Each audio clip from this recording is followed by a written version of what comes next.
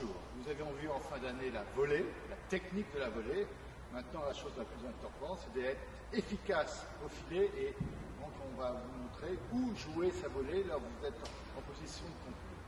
L'objectif sera très simple. N'essayez pas d'impressionner votre adversaire en essayant de taper le plus fort possible.